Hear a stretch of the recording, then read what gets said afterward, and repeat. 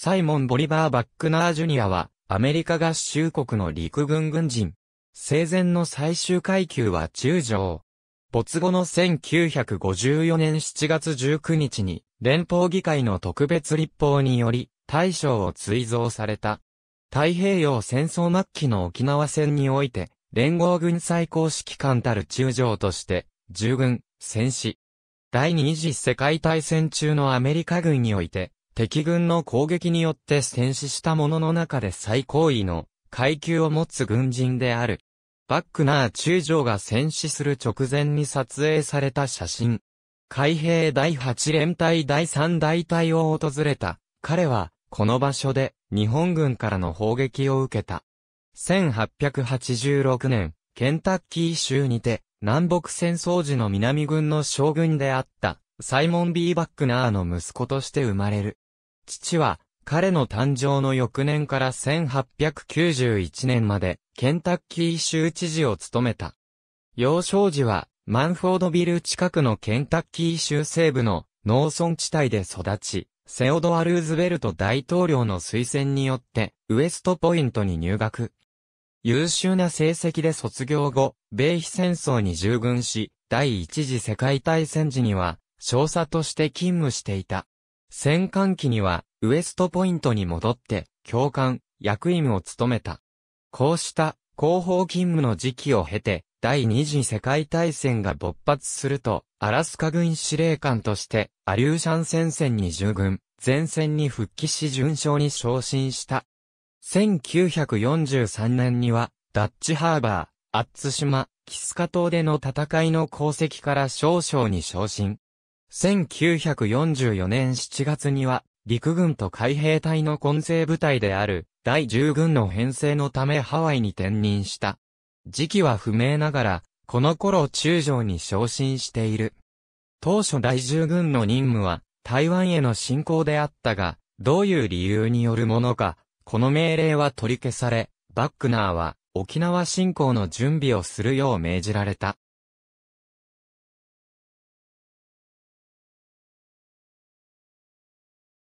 それまで、アッツ島の戦いを除き太平洋戦線での主要な戦闘に参加していなかった彼が沖縄戦の指揮を取ることになった背景には、上陸作戦のエキスパートであるホーランド、スミス海兵中将が、その激しい性格によって、太平洋戦域最高司令官であるチェスター・ニミッツ、元帥はじめとする、軍上層部に嫌われていたという事情が存在する。バックナーが砲撃を受けた、高台高台にある、慰霊碑1945年、バックナーは、沖縄方面連合軍最高指揮官たる、第10軍司令官として、アイスバーグ作戦を指揮。海空からの事前攻撃及び、3月26日のケラマ諸島上陸を経て、4月1日に、陸軍2個師団及び海兵隊2個師団からなる、第10軍主力部隊は、沖縄本島中西部に上陸。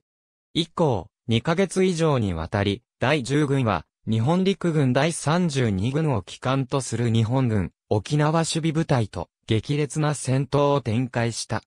6月18日、バックナーは指揮下の第8海兵連隊を、キアン半島前里の高台の前線において、視察中に戦死した。前線に向かう途中で、第6海兵師団、第22海兵連隊連隊長のハロルド・シー・ロバーツ大佐が第96不評師団の前面の高台の日本軍陣地からかなりの銃弾が飛んできますので、これより前線へは行かない方がいいと忠告したが、バックナーはその忠告を聞き入れずさらに前進した。その忠告をしたロバーツもバックナーが戦死する1時間が前に戦死している。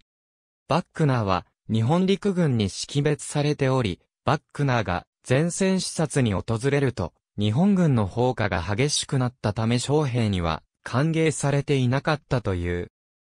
最後となった6月18日の視察時においては、ヘルメットのマーキングから高級指揮官であることを識別、狙撃されることを警戒したクラレンス・アル・オレス大佐、ハリー・エーム・サルキシャン・ラブカの進言により途中で一般兵士用の無地のヘルメットに交換したが、すでに日本陸軍の現地砲兵部隊はバックナーを識別しており、重榴弾砲による砲撃が開始され砲弾はバックナーの立っている付近に集中した。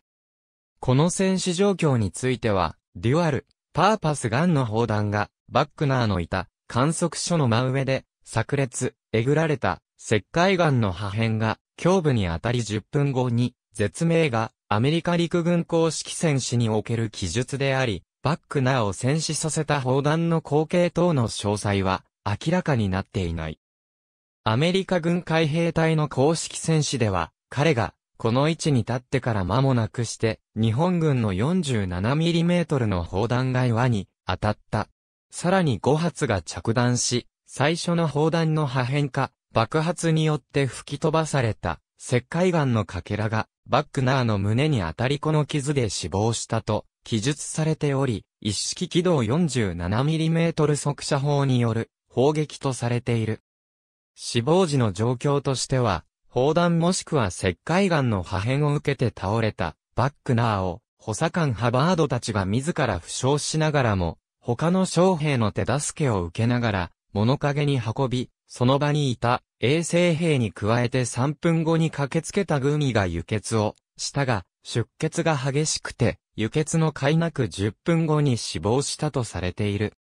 6発も着弾しながらも、バックナーの付近にいた、ハバードら2名の負傷の程度が軽かったことからも、小口径の砲弾とのみなされて、アメリカの資料では、海兵隊の記録と同様に 47mm とされていることも多い。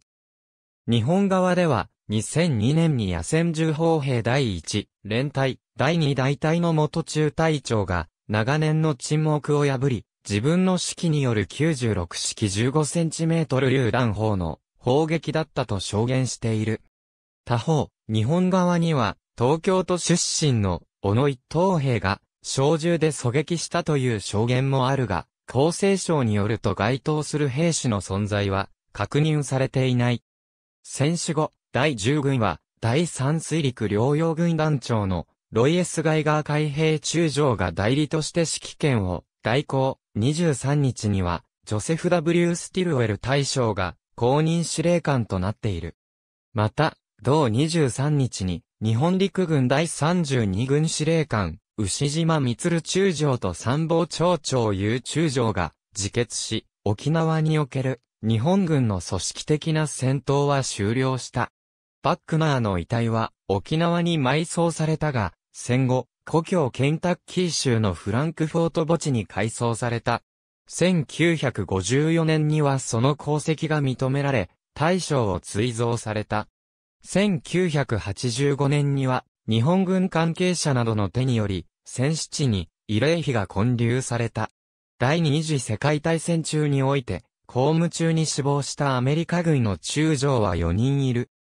1943年には、フランク・マックスウェル・アンドリュース中将が航空機事故で死亡し、1944年には、ノルマンディ上陸作戦において、レスリー・ジェイ・マクネア中将が、友軍の誤爆で死亡。1945年2月に、ミラード・ F・ ハーモン中将が、登場機ごと行方不明となり、戦死扱いをされている。このうちマクネアとバックナーは、死後大将に昇進している。自決後、陸軍大将に特進。History of the US Marine Corps in Spring with Spring with 2 Volume V Victory P353 Welcome to the Hall of Honor ジェンサイモン・ボリバル・バックナージュニア、アップルマン P461、History of the US Marine Corps in Spring with Spring with 2 Volume V Victory P353 サイモン・ボリバル・バックナージュニア、コマンディングオフィサー 22ND、インファントリーセプテンバー1938、ノーベンバー10、1939サイモン・ボリバル、バックナー、ジュニア、サイモン・バックナー、ワールドオ2データベースハット、沖縄に通い続け、異例、おさむこつ続ける、元砲撃隊長の石原さん。2002年6月18日時点のオリジナルより、アーカイブ、2018年6月17日閲覧。